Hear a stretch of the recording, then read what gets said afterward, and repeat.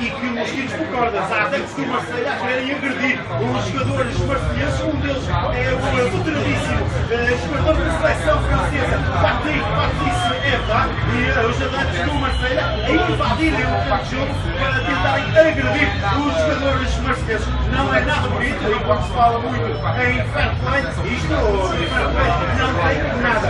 Já começou no exterior do estádio e agora começa também eh, no interior do estádio com a tentarem agredir também adeptos do Vitória. De facto, está o caldo entornado e espera-se que as forças de intervenção rapidamente consigam sanar eh, os ânimos aqui dos adeptos do Marseille. inacreditável aquilo que se vai na história Bolsonaro. Começou com a Patrícia Efra, a Patrícia Efra,